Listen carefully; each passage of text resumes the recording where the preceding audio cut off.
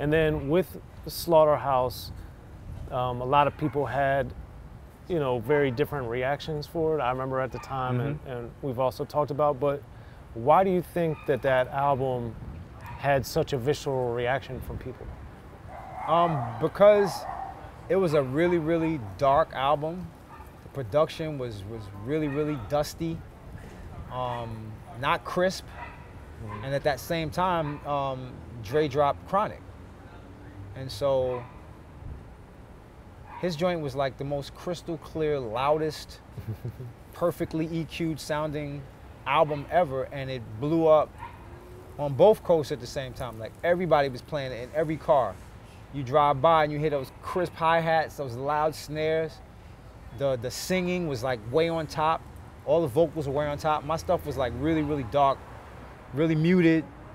It had a vibe, but it wasn't that crystal clear radio friendly sounding uh, EQ EQ stuff because we didn't know what we were doing yet. Like this mm-hmm. was like mm-hmm. fresh from Marley, going into a studio now, going okay, you're on your own, figure it out, make an album, and I'm turning knobs. I'm trying to do what Marley did, but it ain't sounding the same. But mm-hmm. we still did a really cool record that uh, was a cult record. Um, the fans who, who who love SlaughtaHouse love it, and to this day, they think it's my best work, even though I'll tell you myself it's not.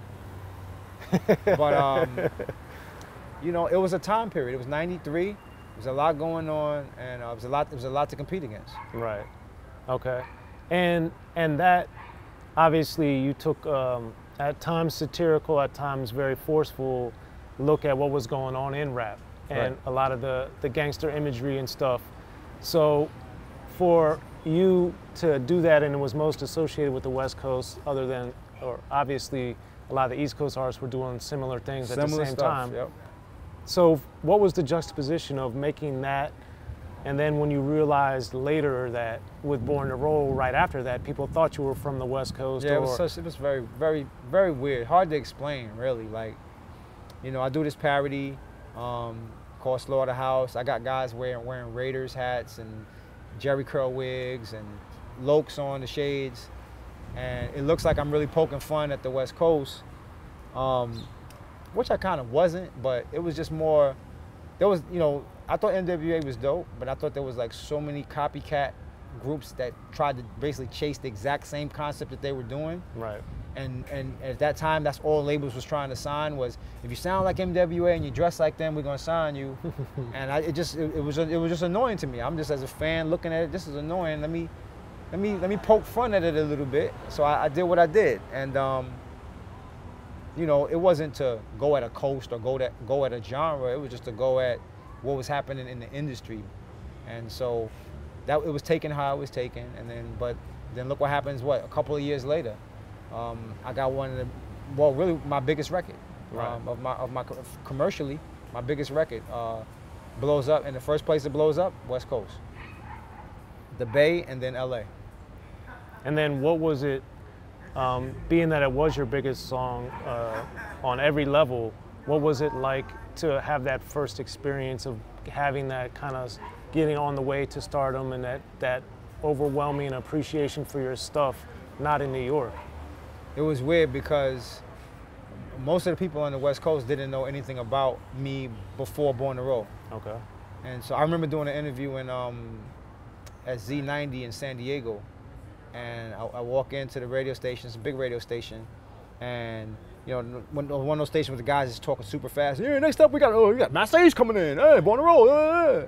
And then he's like, so tell me, uh, what's it feel like to have your first record out? I'm like, yo, what you talking about? I got I got two albums before this. Right. He's like, oh, okay, well, here we go. Here's Born to Roll, Masta Ace, boom. Like he totally didn't know anything about me interviewing me, but that was kind of like what the experience was like. Um, in the early goings because mm-hmm. people were learning, they were finding out through interviews, through reading, you know, magazines. Like, oh, so he's been out before. Oh, so he was down with Marley and King. Oh, that's the same guy from Symphony. Oh, I didn't know that. I thought he was from. I thought he was from L.A. Like, so there was a learning curve for the fans, and they eventually figured it out, and you know, we're good now. Okay, and then um, by the time we get moving into the next phase of your career, post Delicious Vinyl you became kind of more synonymous with having the conceptual albums, which we see again on Disposable Arts. Yeah. So what what was it and what is it about you that made you gravitate to having these conceptual projects? I just think I'm a writer at heart. I, th- I really believe that I'm a writer at heart, a creative writer who wants to tell stories, whether it's through rap or some other way. Um, so I tell I tell stories through my music, but then I also t- tell stories through the interludes of my of my music, and um, it's just something in me. It's, it's innate. It, it, it, it I need to do it. It's it's the only way that I feel that I'm having a good time creating music is when I'm telling a story within a story, and so that's why, from really, from from SlaughtaHouse, all the way through, I've been getting better and better at it and, and telling a better story, and a more cohesive story, and a story with more clearer. Then I- then I started to add actual, you know, characters that that, that you could follow from one project to the next. Right. Um, and, and, and so that's where it, it, it was all on a road to where I am now, which is I'm writing a, a musical for, for, for the stage. I'm, I'm, I'm writing a screenplay. I'm writing a, a TV pilot. I have all of these, you know, writing projects that are on my computer that are now coming to fruition. And then how do you what do you get differently out of writing a song versus a screenplay or a play or a commercial or something? It's real different, man. Um, you know, writing lyrics, a story in, a, in rhyme form, that comes supernaturally to me. Um, it's really about just kind of being slick with the wordplay, being slick with the, you know, way you lay out the, the, the, the song and you, surprise ending, however you want to do the verse. But when you're writing uh, a bigger a bigger piece of material, the rewrite is crazy. Like I, I find myself changing stuff every step of the way um, because you're like this could this could sound better. I, this should. So I'm realizing that it's a longer play, and so that's that takes a, that's, that takes adjusting because I'm so used to, you know, 16 bars, 24 bars, fix a couple of lines. I don't like how I said that. Let me change that, and then it's done.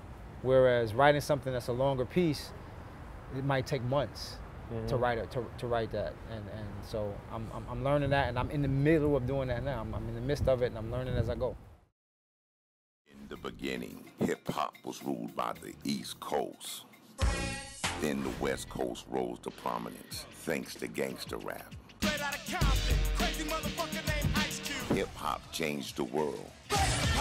Gangster rap changed the narrative I'm representing for the gangsters all across the world. and then changed the world again. Cause I'll come and take your life away. The history of gangster rap features unheard stories, unseen photos and documents, all with exclusive interviews from the founders and players who shaped gangster rap. I think a real gangster rapper has to scare you a little bit. The history of gangster rap written by veteran rap journalist Soren Baker. In stores now. Yo, what up? This is DJ Quik. Be sure to pick up my homeboy Soren Baker's book, The History of Gangster Rap, if you really want to know what we do.